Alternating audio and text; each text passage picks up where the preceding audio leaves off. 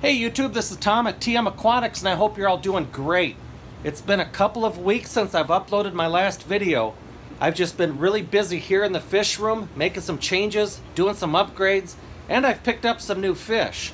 So in today's video, I thought I'd take you around the fish room, show you the changes, and just give you a quick update on everything happening here at TM Aquatics. So stick around, because you don't want to miss this one.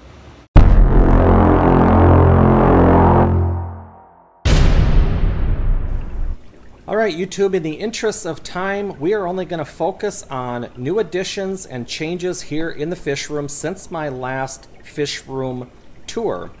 And uh, what we're looking at right here is that we're actually out in the rec room, and this was my 75 gallon planted Endler's jungle tank. And as you can see, it has completely been transformed. This tank is being prepped for my group of L494 plecos that I picked up from Eric Bodrock. Everything that was in the tank previously has been removed and gotten rid of, with the exception of some Anubias, my Bucephalandras, and uh, some Java Fern Narrow Leaf and some Windelov Java Fern. Everything else was removed and gotten rid of. Uh, the substrate that I have in here is just a mixture of a, a really small gravel 50% and 50% pool filter sand. The filtration is as simple as it gets. Just a couple of standard Hydro 5 sponge filters, one in each corner. And then I did pick up, and uh, I'm trying these uh, Ziss moving bed filters that was all the rage here on YouTube back in uh, October, November, December. And uh, we'll see how those work out. The box filters here, they're just temporary. I was running some uh, pre-cycled media through there, but right now I just have some carbon. Um, one of my dither fish that I have in here, these are just $2 cherry barbs, and um, one of the male cherry barbs got wedged between the sponge filter and the glass over here and really wore himself raw and uh, started to get some fungus uh, where he was raw. So I added some uh, medications to the water. He looks 100% better than he did. He still has a little bit of white fungus on his head, but it's really starting to clear up fast now. So I'm going to pull the meds, do a big water change, but that's that's why I have the um, the uh, box filters full with carbon up here in the front. But now, as far as scaping, um, my Pleco tanks are not meant to be aquascaped. I just like to make them look, you know, nice because I enjoy looking at my tanks. But um, I do have another piece of driftwood that I ordered or purchased online, and that was shipped and should be here early next week. And that'll be on the left side of the tank here, in which I will also be attaching some of the Anubias to that driftwood. And then I do have some larger uh, boulders and stones I uh, collected locally that I'll add to the tank, and that'll kind of tie everything together. Now over here, this pleco hide pretty simple, pretty straightforward. I know I'll be asked about it, so I'll just go ahead and explain what it is. It's three pieces of pre-cut tile that you can purchase at Menards for like $2 a piece. And these pieces of tile are like um, five or six inches by 16 and they're like $2 a piece. So there's three pieces. There's one down here on the base and I just put a little bit of substrate over it to kind of hide it. And then these four round caves are actually watering spikes that you can buy on Amazon. You get four for $10.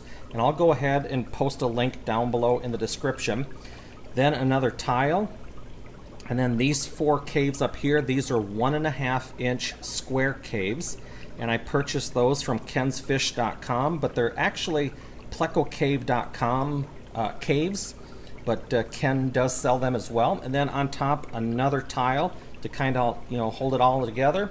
And uh, a real inexpensive but yet very effective pleco motel and pleco hide so then you can see all my little pieces of bucephalandra up on top uh, manzanita branch etc but but that is the tank. Uh, really glad to have made the change. Uh, honestly i was getting terribly bored with the endlers. I had them for a few years.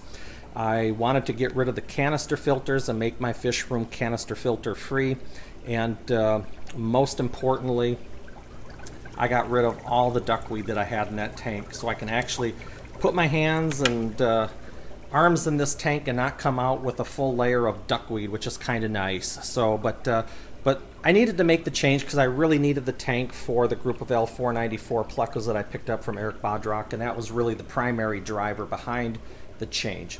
Anyways, enough on this tank. Let's head back to the fish room and check out what's going on back there.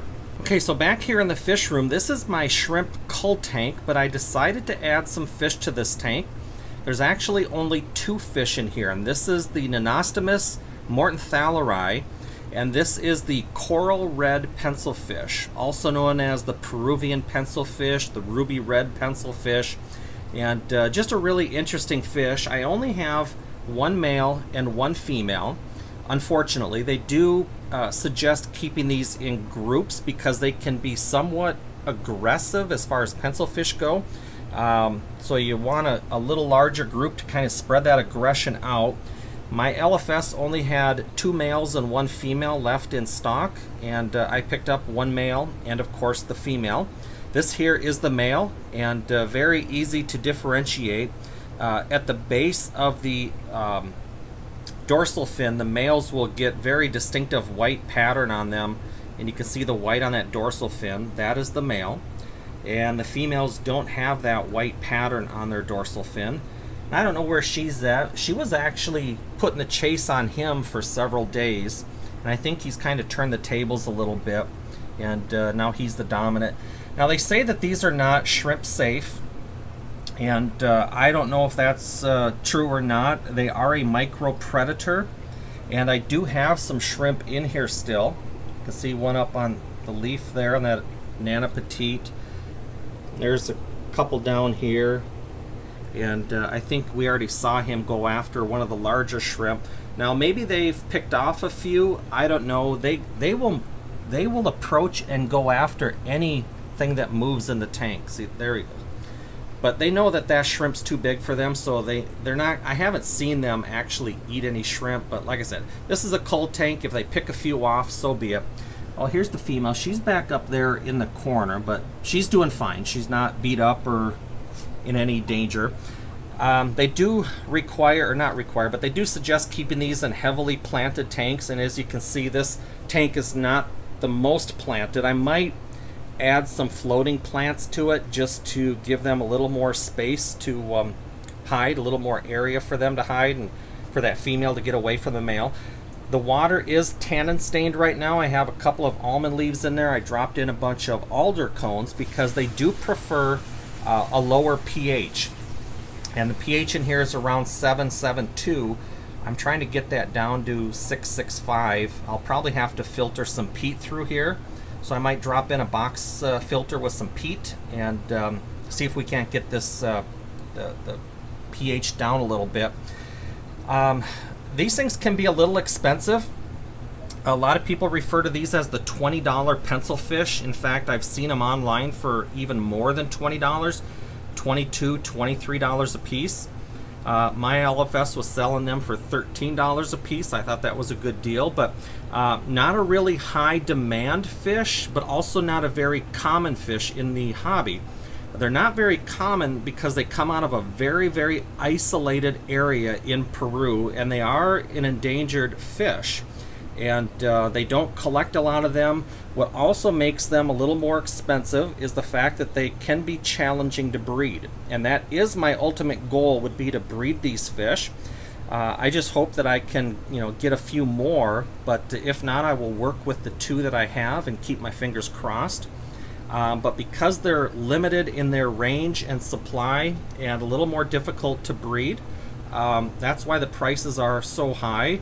Not a lot of people willing to spend that type of money for a fish really that uh, can be, you know, kind of takes the place of a, a $2 tetra, you know, and um, you know but I I really liked them. I like the color. I like the pattern. I really liked their behavior. I watched them for quite a while at the LFS and just thought they were really a cool fish and something different that I've never tried before. So but uh, yeah we do hope to breed these and um, you know fingers crossed but I don't know much about them I've never kept them before. They've been uh, I've been feeding them really small foods live baby brine shrimp. They've been uh, there are a bunch of little there were a bunch of like little white bugs and stuff in this tank and um, little copepods and things like that. And uh, they do go after those and prey on those. It's kind of fun to watch these guys actually. Really enjoying them but anyways the uh, coral red pencil fish and um, yeah, enough on that. Let's uh, let's keep moving. Now down here underneath my workbench, and this is between the dual 75s and my shrimp rack, uh, this is the newest tank to be added to the fish room, and uh, when space is a premium, you put tanks wherever you can fit them. And um, this is where this tank ended up. This is a 40 gallon breeder, and this tank is exclusively for growing out baby plecos. I have my oldest group of L134 plecos in here. Currently there's 28 I'll go ahead and lift up that sponge filter. You'll see a bunch back there. And then there's a bunch back behind uh, that Hydro 4 uh, filter back there. Now, they are for sale, but currently only for local pickup here in Minnesota. I was shipping them with the post office express service, but after numerous delays out of the St. Paul area here, and uh, one of which resulted in uh, a DOA. I have stopped shipping them with the post office, and I am currently looking for a more reliable uh, shipping partner. And once I've decided on which carrier to work with, I will um, put them back up for sale, add them to the Get Gills website, and um, we'll keep or we'll start shipping them out again. But they came out of the 20 gallon long uh, grow out tank. Let's head over there and check out that. So over here is the 20 gallon long grow out tank that they were in, and this is directly above the pencil fish that we uh, talked about just a couple minutes ago. In here now I have a younger group of L134s. There are either 40 or 41 in here. I think it's 41 actually. You can see just a huge bio load back there behind that sponge filter. But they needed more space. They were all over here on the main adult L134 tank uh, hanging out in breeder boxes. So definitely needed that 40 breeder to uh, move the larger fry to and then uh, clear this tank out so, so these guys could move in. But anyways, a whole bunch of them. Nice looking group of fry and uh, like the others, they will be for sale eventually. But these guys still have a couple of months before they're ready. Alright, so the last thing that I want to share with you in this video is the upgraded air system back here in the fish room. And I did put out a separate video on this a couple of weeks ago, but it didn't get many views. I thought I would just add this uh, into this video as well. But I upgraded my air system from eight individual air pumps to a single Jehmco LPH80 linear air piston pump and uh, this is probably the best upgrade that I've made in the fish room since I've uh, started this fish room a year and a half ago. Uh, they are expensive, but worth every penny in my opinion. They're extremely quiet and efficient, and this thing has given me more air than the than the uh, other eight pumps were combined by far. It's given me more air than what I can actually use right now, and um, yeah, I'm just really happy that I made the uh, made the switch. But in addition to the new Jehmco LPH80, I've also been changing my sponge filters around and I've been switching to Hydro sponge filters and uh, I have a bunch of Hydro 5 Pro sponge filters back here. Um, out in the rec room we started with that 75 gallon tank and I did put a couple of Hydro 5 sponge filters in that tank but those are the regular Hydro sponge filters not the Pro and just putting these up side by side you can see the difference in the pore size. Uh, in the tank that's a Hydro 5 Pro series or Pro sponge. This is a Hydro 4 but it's just the standard Hydro sponge and you can see the difference in that pore size. So these are going to um, do a good job filtering really fine particulates in the uh, water column. But these with the larger pore size are gonna last much longer between maintenance and if you're familiar with my channel and my fish room, you know that most of my tanks, my primary focus is plecos. And plecos are an extremely messy, high bio load, waste producing fish. So uh, I had to take out sponge filters every week and a half to two weeks and wring them out. And that's not going to be the case with these Hydro 5 Pro Series sponges. Uh, back here, that is the sponge filter that I'm swapping out in the fish room. That is one of those Chinese XY 380s. Uh, they sell on eBay for like five or six bucks a piece, and they do a pretty good job. Um, but I have to take those out every week and a half to two weeks and wring them out because they get so clogged up with all the waste from the plecos. These Hydro 5s, you can see that big pore size. These things are probably going to go, you know, a month, two months before I have to take them out and wring them out. So I'll probably do it at least once a month regardless. But, um, but yeah, I've been upgrading those. And uh, what I like about these Hydro 5s versus those, um, those Chinese XY 380s, not just the pore size, but just how much larger they are. And here's a side-by-side -side comparison. This is one of those XY 380s. You can see how much larger that Hydro 5 is. So definitely going to be able to go much longer uh, between uh, any maintenance for those sponge filters and um, that's just going to make it a lot easier on me back here. So anyways, that's the uh, those are the changes, those are the new additions and uh, everything we have going on back here in the fish room. I just want to say thank you for uh, stopping by and watching another one of my videos. And if you have any comments or questions, feel free to post them down below.